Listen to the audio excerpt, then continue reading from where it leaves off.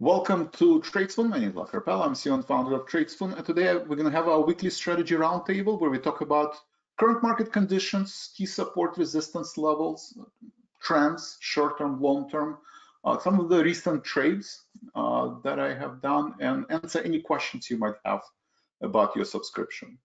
For those of you who are new, welcome. If this is your first live event, do me a favor, type in first. Always want to welcome new subscribers. This is my brief bio as Executive Vice President, and Head of Technology at optionsXpress since um, 2007. Oh, optionsXpress went public in 2000.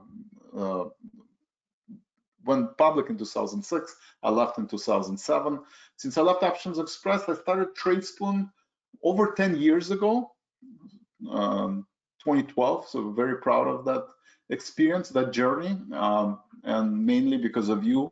So I want to say thank you to everybody. Because of you, I'm able to do what I enjoy professionally. Uh, I've been managing and trading my own money since the company went public uh, in 2006. Um, I've been a consultant and investor in several startups here in Chicago. Uh, my passion is education, trading, managing my own money, and uh, building models. I do have master's degree in artificial intelligence. Actually, I was writing my master's thesis in artificial intelligence a long, long time ago. But you know, now it's at forefront of all the earnings calls, so that's pretty cool. Uh, disclosures are very important. Um, since I'm going to go through some live trading examples, very important to read the disclosures. Uh, trading stock and options involve risk, not suitable for everyone. Uh, if you're new to trading stock and options, I do encourage you to visit the link on your screen. You can pause the screen and just visit that link. I'm not a financial advisor. I'm not registered with SEC, FINRA. I'm here to show you what I do in my own account based on my own risk tolerance level, how I manage my money for general education and information purposes only. Uh, please consult your financial advisor prior to making any trading decisions. All right, before we jump into a trading plan, let's talk about current market conditions. Uh, so let's look at spiders. So do uh, earnings season. I think over 50% of S&P companies already announced earnings. We have earnings from Amazon. Amazon is down, basically giving up yesterday's gains. Um, uh, and then we do have uh, Intel is up 6%, Amazon is down 4%, Capital One Financial turning positive. Um, so uh, next week, we're probably going to have close to 75% of all the S&P 500 earnings uh, reporting, including Apple, right? Apple is the last kind of uh, mega cap, trillion dollar market cap company that everybody is waiting for the earnings. So what do we expect uh, long term? We do see kind of this pretty good strong rally of the 50-day moving average. So we pull back to the 50-day moving average on probably worse than expected earnings in the beginning, right? The UPS, AT&T, we had pretty sharp pullback in these names. Um, and the market did pull back. And today and uh, yesterday, we basically recover all the losses, all the losses from last week. And again, knocking on the door of a year-to-date high, right? We've seen this kind of scenario throughout the year at the same level. So what is the next? Uh, what is the next uh, um, move, right? Uh, are we? Uh, and we've seen this kind of peak and trough rally, right? So on one side, right, one scenario we kind of, you know, we're going through these consolidations at the top, and then we reverted back. We did this in December, right? We had worst December in long time. We had pretty weak March and um, right? And then the question going into june right? Do we revert back going into summer or do we make new you know do we continue to trade higher right? So 380 from 413 what is it let's call it 35 points to the downside right? Or 35 points to the upside. Right? If you're short-term trader or even if you're long-term trader 30 i mean 10 percent up 10 percent down big difference, right? It's a it's a big difference. So what what is the bullish case, right? The bullish case is that the bar is set very low, right? And companies like Meta, right? expectation was negative earnings, they deliver positive earnings, right? Uh, Amazon expectation was negative earnings or uh, positive earnings. Meta was negative earnings growth, and they deliver positive earnings growth. Meta, right? So uh, bar is set low, and you still see these kind of mega cap technologies like uh, Meta, Amazon, and um, Microsoft delivering better than expected results, right? Um, and let's assume Apple is also going to deliver similar results to the other mega cap technology, and, the, and we're heading higher. Unemployment is still low, right? Unemployment is still low.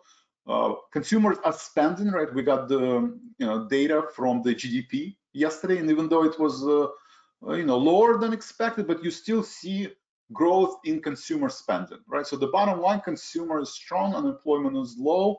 JP Morgan said that they're still lending money, right? And they don't see liquidity issues um, and uh, uh, loans originations are the same. Standards are not changing and they do see capital inflows, uh, deposit inflows from regional banks. So pretty strong narrative. Dollar is weak, right? Dollar continues to be weak. So we have this concept of soft landing, right? Very strong narrative has been a strong narrative since October, right? We, I mean, we went through several iterations from 52-week lows in October, right? But we do see since October, what is this? Six months, more than six months. Let's call it seven, eight months. So for eight months, we continue to make higher highs and higher lows, right? So that's the soft landing narrative. And going into summer, earnings are not as bad as expected and the move high, right? That's scenario number one right? And as a, as a, trader, you always want to go through both scenarios, right? You should never feel like, okay, there's only uh, market moves in one direction. Market never moves in one direction, right? Market always moves in multiple direction, up and down. There's usually some kind of bias to the upside or to the downside, but you want to go through this different scenario, create a case, and then you just have to make a decision. You know, in my in case one, in case two, or I have no idea, and I think it's just going to be neutral, right? So the other scenario is two, right? You you're probably not going to have you know, as earnings gonna wind down uh, in the next two weeks, you're probably not gonna have uh, this consolidation for much longer, right? It's already been probably longer than in December, uh, probably like December, right? It's very similar to November, December consolidation, a little bit longer than it was in February. So at some point, market is gonna either move up on a soft landing or uh, move down on a hard landing narrative, right? Hard landing narrative is uh, what is the hard landing? Main uh, yield inversion, right? So yield inversion, uh, leading indicators deteriorate, manufacturing services PMI deteriorating, uh, you know, still very high interest rates. Fed is not pivoting, and you can see revenue slowing down, right? Just because Meta is up 10%, but they deliver very mute uh, revenue growth right? And same thing goes for Microsoft, same thing goes for Amazon, right? Uh, even though the bar is set low, but soft landing narrative expects that Q3, Q4, the revenue of S&P 500 companies will reaccelerate, where based on GDP data in Q1, lower than expected, and already Q3, Q4, everybody expects negative GDP. Not everybody, but most economists expect negative GDP. So the revenue will continue to decelerate, right? And uh, the theme of Q4 and Q1 cost cutting structure, right? All these companies cutting cost, and they're able to beat the bad expectations. The idea is that Q2, Q3, Q4, this narrative is not going to work, right? Just because you cut in your expenses, but if you're not growing your revenue, at some point, you know, does it justify to pay multiple of 40 on Amazon? So that's the hard landing narrative in a nutshell. Right, so what do you do as a trader, right? I don't think going into summer scenario three is plausible, right? There's, it's not gonna, this kind of mm, going nowhere in the, you know, in the past since, basically since, well, end of March, right?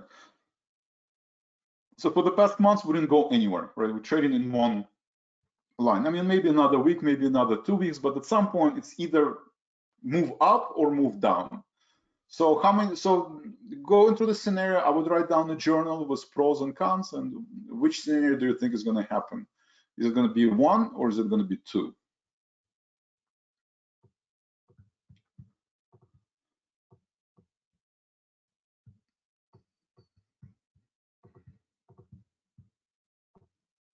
All right, so one, we're going higher, two, we're going lower. Michael, thank you. Two, anyone else? Virus, Bravo, Logisolve, Martin, T, Ron, Rick, Michael, Kwan, Jean, Don, Carla, Andre, Steve. Two, two. Anybody one? Nobody thinks market is going higher? That's impossible. Somebody has to think it's there's always a bull in the market. Okay, everybody's two. Okay.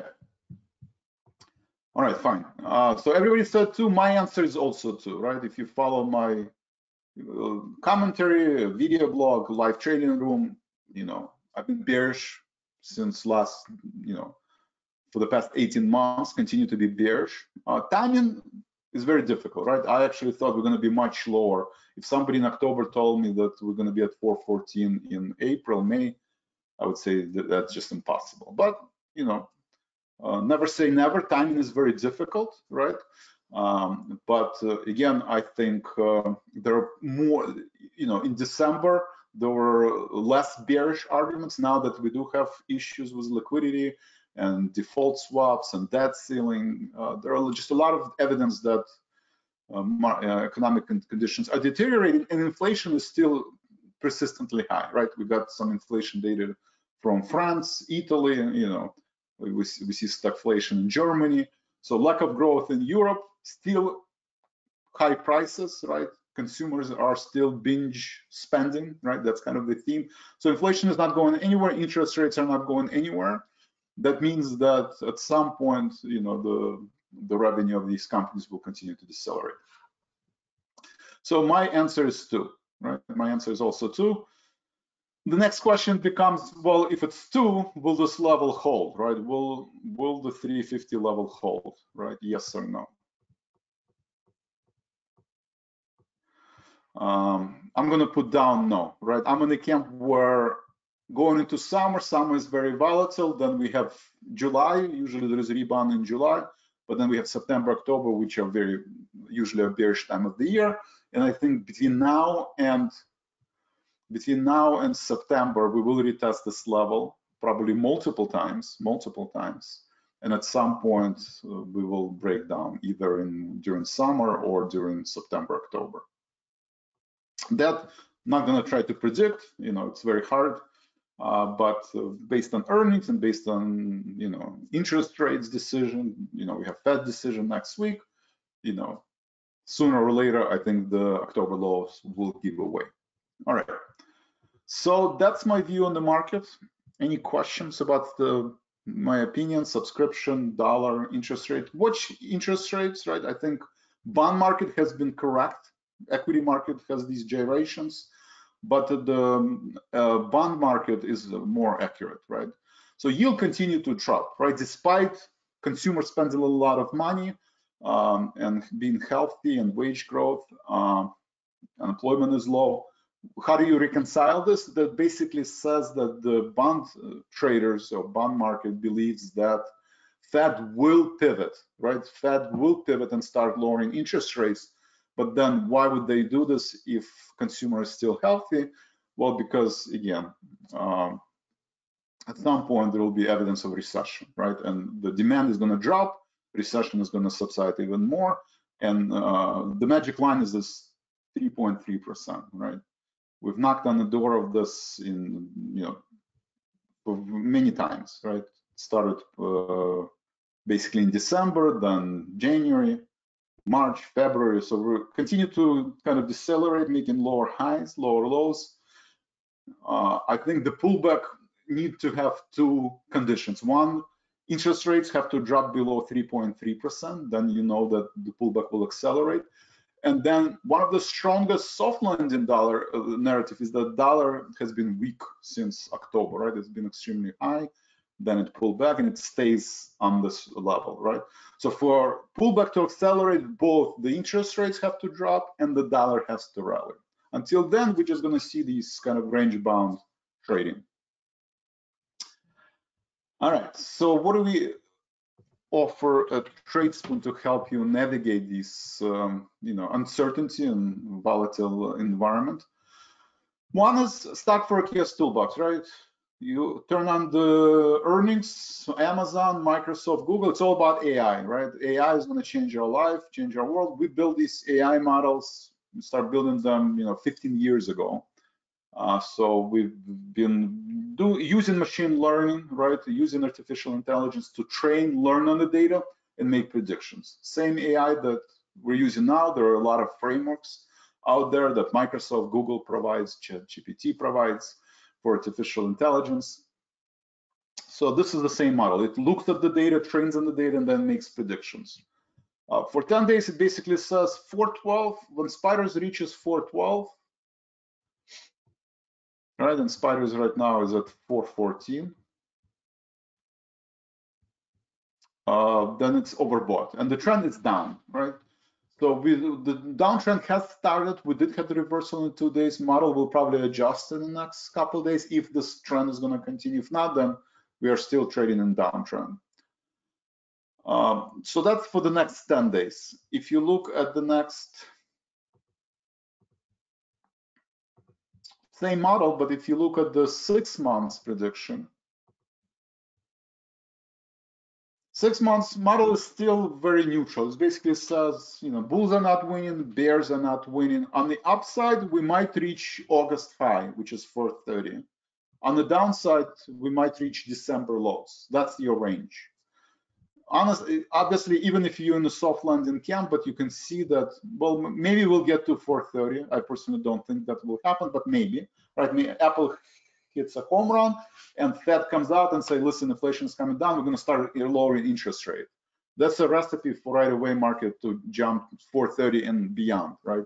If the Fed actually admits we're going to pivot and we're going to pivot because inflation is under control, right? And unemployment is still low and life is good, right? And we avoid in recession, right? If that's the narrative next week during the Fed conference call, well, we're going to be at 430 and more higher.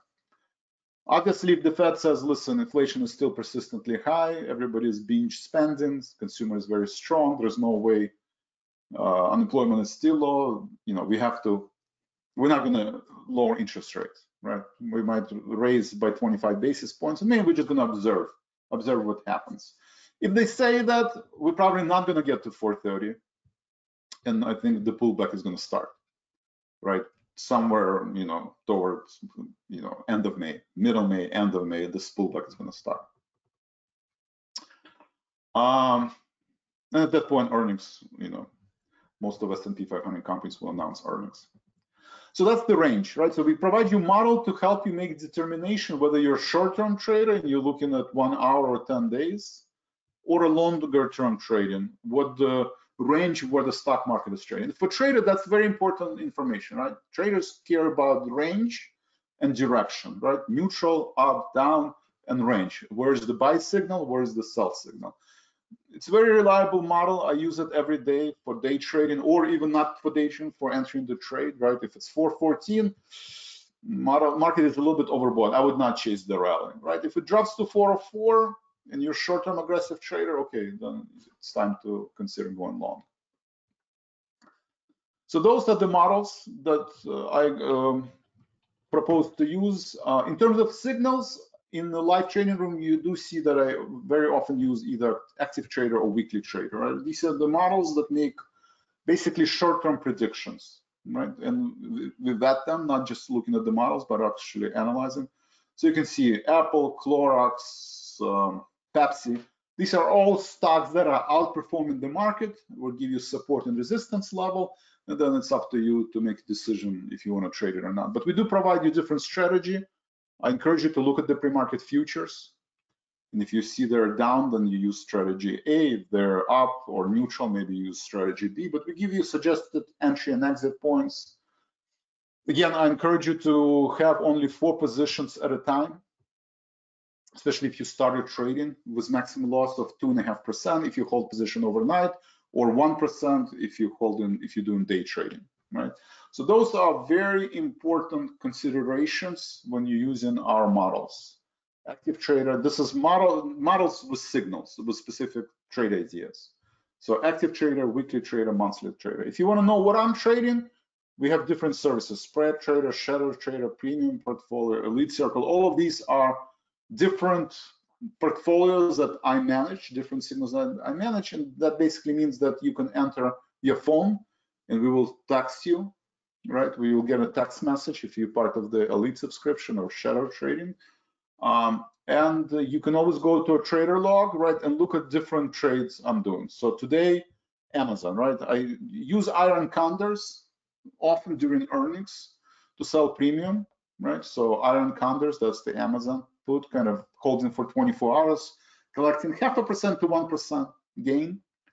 Uh, I know a lot of people are not comfortable trading options, so I do have examples of stock or ETF like um, TLT, right? I you know sold TLT, bought TLT, 104.70 today sold 106, so trade around TLT. So again, here an example, you know, 1% gain in short period of time. Um, you do see I use option spreads, so longer term trades, often I use either stock or options spread services. A lot of people said, Vlad, you only an option trader, I'm a stock trader, or you only a stock trader, I'm an option trader. In reality, I use both. I think options are derivative of the stocks. There's no reason to use one versus the other. There are advantages of using stock, there are advantages of using options, but it's an expression of the same opinion, and you can do it whether you stock or option. All right, any questions on um, stock forecast toolbox, active trader, weekly trader, elite service, and different uh, portfolios? Robo investor stocks only. A lot of people say, Vlad, I don't want to use the word option. It's too complicated. You know, I have to think about time. I have to think about magnitude, direction. That's just too hard. Okay, so we have Robo Investor where you only we give you trade ideas with using stock, and you same thing. You get SMS message every time I get in the trade, every time I get out. Any questions on um, subscription, elite service, active trader, weekly trader? I do encourage you to look at our learning center. Let's see. Newsletters, right? So newsletter, we I have I we posting twice a week videos right? Where I give you, again, one trade idea and then support resistance levels, and then video blog. Right, so we have video blog, we have regular block, and then RoboStreet. So some something to consider. Uh, we do have education center. If you want to learn about options or technical analysis, we do have learning center with different guides, trading guides, and different topics. I also encourage you to review. All right, anything else?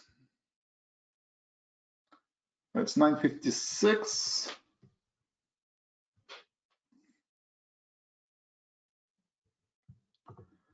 Any questions? Do you think the market will react to an increase in quarter raise in interest rates? Uh, I mean, market always reacts to Fed decision, right? So what I don't think it's the 25 basis points or no points or even 50 basis points. It's not the the number what matters, it's the tone and the message, right? If the message is that consumer is too strong, spending too much money and inflation is persistently high and we're not going to pivot this year, I think that would be met as negative message and the market will pull back and uh, and actually yield is going to drop. Yield is going to drop, right? Because the correlation has changed. Now market rallies only when yield goes up, and when yield goes down, market pulls back. You know, today, and you can see actually QQQ is turning negative, right? And you so bond market is right. Yield dropped, but QQQ was up, right, on Amazon earnings, and now QQQ is turning negative.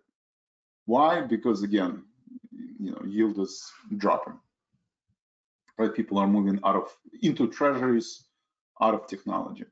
So I think next week when Fed announce their decision, yield is going to continue to drop. You know, will it break this level? That that's hard to tell. Right? It could, right? Because you know, you everybody's waiting for information, and then once information arrives, what do you look for next? Well, there's nothing else to look for, right? We know, you know, macroeconomic data is deteriorating. We know that earnings are down, and every quarter over quarter, it's getting slightly worse and worse. So I'm not sure what the soft landing narrative will look will look like, right? And the biggest, uh, you know, what I underestimated was China reopening, right? That was one, and you can see China is deteriorating, right? It's kind of sitting at this key support. It tested it this week, not a good, you know, chart. If it breaks through this, China breaks through this level, again, pullback will accelerate right? And that's kind of one of the one of the main narrative for the soft landing that China is going to save the world, um, not the world but the economy. Stock has run its course. What indicators are most helpful in determining when rising stock run has its course? Very good question. I don't think there's one indicator, right? You look at multiple, right? I like to look at retail sentiment, right? I like to look at retail sentiment. I like to look at the charts, obviously, right? Usually, you know, if you do see that, you know, for the past 12 months, we didn't go anywhere, right? Just kind of with your naked eye, we're not going anywhere in the past 12 months. And we've been a lot lower in the past 12 months. So from technical analysis, it's overbought. Right? Did we have breakouts? Yes. You know, in, in February, I didn't think the downtrend will be broken. We broke it. You know, here we broke the downtrend again for a couple of weeks. So pendulum swings to extremes. So from technical analysis, I would look that market is losing momentum. Um, I would definitely look.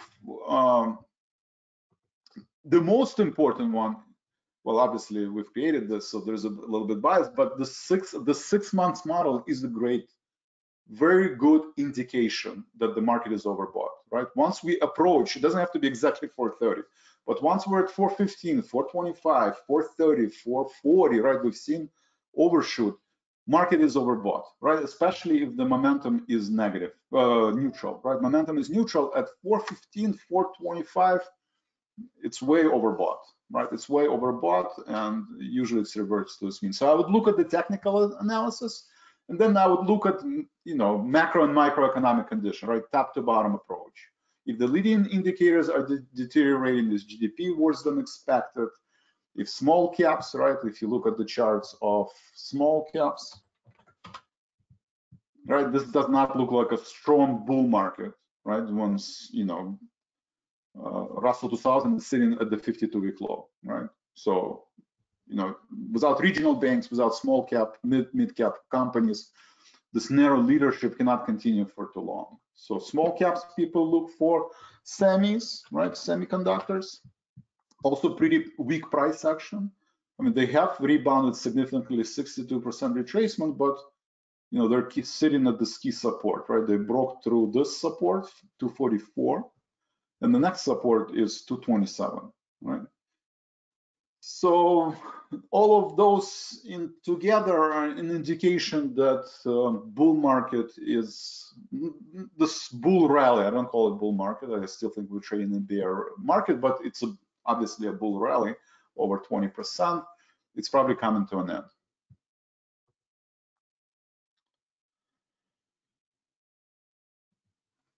So thank you. That's a good question. What indicators are most helpful in determining when rising stock has run its course? Right. So that's kind of what people look for. People look for small caps. They're looking for semiconductors. They look at the dollar. They look at the uh, bond market. They look at the sentiment, and they look at the technical analysis. So that's my that's how I usually determine, you know, whether there is more room to whether the next leg is up or down. All right, 1002. Okay, so what have we covered? Uh, micro, micro. All right, so most important, right? Most important, almost forgot. Most important is there's a lot of uncertainty, right? On one hand, soft landing narrative is very appealing, right? And bulls have been in control for the past eight months. On the other hand, there's more and more evidence that uh, you know potentially this bull run, bull rally has uh, run its course. So how do you manage the uncertainty? My answer is you have to have a solid trading plan, right? The idea of process versus outcome, right? We all look for making money, right? Growing our assets and, you know, but uh, you cannot do that at the expense of the process, right? So if you break the process, or if you don't have the process, if you don't have a trading plan, it's just a matter of time, especially in the traders market, right? In the past two years, we didn't go anywhere. So in this kind of market conditions, if you don't have a repeatable repeatable, simple plan that you can execute, you can give it to anybody, right, and have them execute, right, then it's that's an issue. So what is my proposal for repeatable, simple process that you can follow? Cash, right? I mean, if you're in soft landing, 30% in cash. If you're in hard landing, 50% cash. But you should, I believe everybody should try to have a large cash position much higher than it was two years ago, right? When market was in, when we were trading the bull market, okay, maybe you had 20% cash, maybe you had 10% cash. I, this slide hasn't changed. I always said 30%. I do say now we're in a bear market, so it should be higher, 50%. Second one, portfolio drawdown, right? In all of the pages, right? If you go through all of our models and everywhere, um, you know, if you expand these notes, you know, I trade up to 10 positions because I have different services. I've been trading for 25 years. Okay, I have 10 positions, but I recommend that on average, you should not have more than four active positions at a time with maximum loss of two and a half percent of account value per position, right? That is the golden rule. You know, if you traded 25 years, okay, maybe you have 10 positions. If you, you know, if you're managing half a million dollars, okay, maybe you have 10 positions. But on average, four positions, no more than two and a half percent. That means you're not risking any, no, your portfolio drawdown will not be more than 10%. Whether the market is going to go up by 15% now, or whether it's going to sell off by 15%, you are locked into maximum loss of 10%. And I propose not to have all four bearish or all four bullish position. Right now, I'm bearish. So if you're bearish, you have three bearish position, maybe one long position, right? If you're in a soft landing, okay, fine, you can have three bullish position and one bearish, but then you're ensuring that whether the next leg is up 10% or next leg is down 10%, you're limited to 5%, 7% drawdown. So these drawdowns, this maximum exposure, risk management, that's what define a very, you know, repeatable process, right? So it's very important to have number of positions and positions uh, size, right? And uh, um, having this repeatable process that you can execute is very important, right? So that's, uh, uh, I encourage you to journal, very important to journal, very important to grade yourself. It's very important to be self-aware, right? Emotional intelligence is extremely important. Um, and kind of be honest with yourself, right? When you keep a journal, document, have a checklist of what before you put on a trade, have check marks, right? Cash, number of position, position size, maybe bid and ask spread, maybe you know number of uh, the volume of trading on exchanges. Maybe you want to avoid meme stocks. There are you know few rules that we all have, and they vary a little bit, right? Some people only trade meme stocks. Some people never touch meme stocks. Some people trade you know forex. Some people don't. So you have your list. But for the most part, everybody agrees on cash position, position size, liquidity, right? You want liquid markets. You don't want to be stuck in a position, right? So you want to avoid penny stocks. You want to avoid stocks that don't have a lot of volume, you know, easily manipulated. Um, and um, and some of the other rules we cover, you know, during live trading room, right? Don't try to call the top, right? But look for top building process, right? So we're right now we are clearly building top, right? Um, wait two to three days to confirm trend change, right? It's better be a little bit late to the party than early, right? You never want to be early to the party, right? The host gets upset, you know, what to do, how to entertain you. Uh, same thing in trading. You do not want to jump on the trade too early, right? You want to wait for some kind of confirmation. Very often people reference two to three days. I believe in that rule, right? If you see a breakout of any trends or breakout support resistance, you know, if you're doing day trading, you want two to three candlesticks, whatever the time frame you're trading, days, weeks, hours. But you want two to three candlesticks to confirm that the trend is accelerating and changing, right? Very important rule. Um, ABC pattern, volume, and some of the other. All right, I think I covered most of the content for today. I do encourage you to join me on YouTube. We do have live trading room, so I believe in education. If you're new to trading and you talk to any traders, it's a skill, right? It's a skill that you cannot borrow from somebody. You cannot follow, you know, just because you follow Vlad or you follow CNBC contributors, you're not going to be a great trader. The only way to be a great trader is invest in education, invest in, in learning process. It takes time. So I encourage you participate live on Wednesday, no financial commitment, right? This is a free broadcast. All you have to do is click on subscribe and show up on uh, Wednesday. If you're busy, you have full-time job, you have to watch your grandkids, okay, fine, I understand. You know, there are videos and you can watch them, you know, also for free, right? Every live trade, not every, but live trading room gets recorded and you can watch those videos. So invest into education, invest into learning process. You have to build memory muscle, right? Just like if you want to play piano or you want to paint or you want to, you know, any skill, chess, you know, it doesn't happen overnight. It, have, it gets, you have, it's a repetitive process and you do have to get into this free uh, floating mind, right? In a lot of these psychology books, the concept of free floating mind, right? Where you don't when you play piano and you're a professional piano player, you don't think about notes and what's the next note I'm going to press. It just happens automatically. Trading, it's the same thing, right? It takes time, be patient. And if you're patient and you invest into education, I believe everybody can be successful. All right, thank you very much. Any other questions? I'm going to stick around for maybe a couple more minutes, answer your questions. If not, then I will see you hopefully at the closing bell or uh, tomorrow or next week.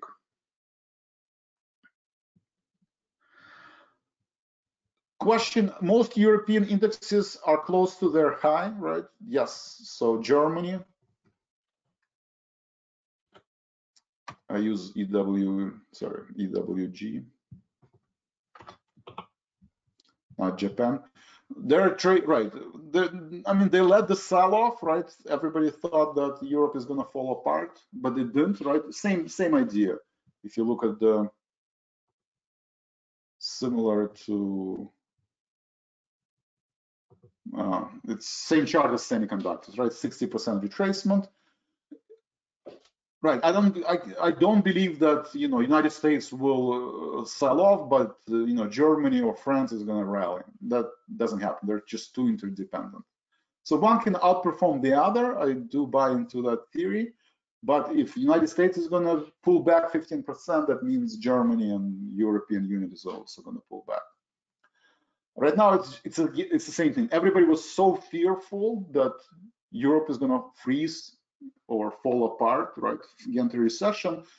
And GDP today, I mean, it's worse than expected, but it's, it's stagflation, right? It's zero, 0.1 or something like that.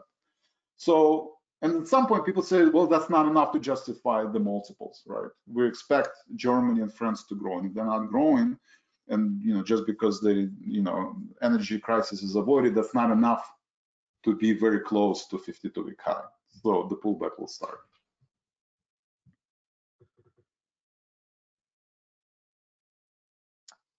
If we are about to start downward path, which US indexes will fall the most? I think QQQ, I mean, it rallied, right? It sold off the most, right? It's the same thing. It's it it was down 37%, right? It's down 37%. It did bounce back significantly, but that was the biggest drop, right? You have IWM, right? Russell 2000 down 33%. So small caps, Russell 2000, semiconductors, right? So let's look at semiconductors. You know, 50%. these are the indexes that will sell off the most, right? They rally the most, they sell off the most. So always keep in mind these correlations, right?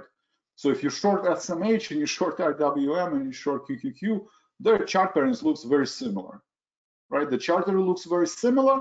You know, SMH moves one and a half times QQQ or an IWM. So something to keep in mind, right? But they one doesn't, you know, you know, all you're doing if you're looking for the most drop, in theory, two and a half percent rule apply.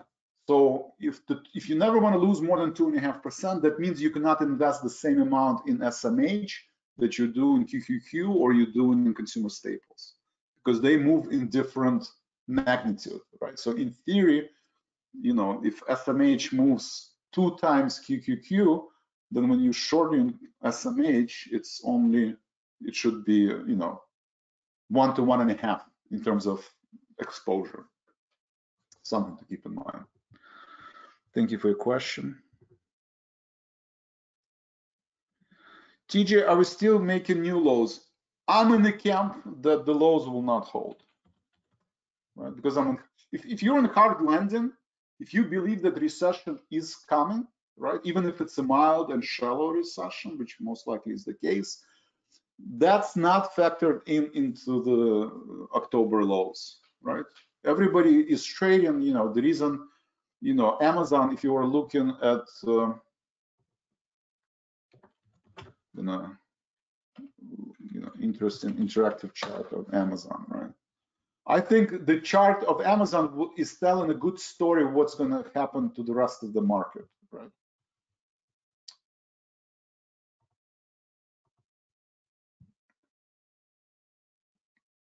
Right, so when first earnings announced, right, at 4 p.m., that, you know, AWS is still growing, you know, consumers are still spending, you know, there are positive earnings where there were negative earnings last quarter, you have 10% move, right?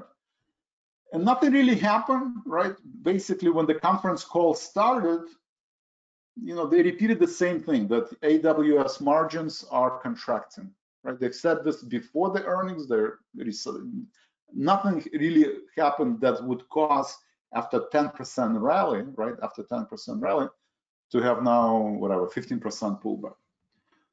So that's kind of a perfect example, kind of buy on rumors, sell on the news, right? Because once the news arrive and there's nothing else to look for, then you have these pullbacks. So whatever happened to Amazon, I think is going to happen to Apple, is going to happen to Microsoft, is going to happen to the rest of the stocks, right? Microsoft, same idea. Yes, it had a strong rally, but guess what? It was, I think, a 301 post earnings. So it's a very strong price action but very little continuation, right?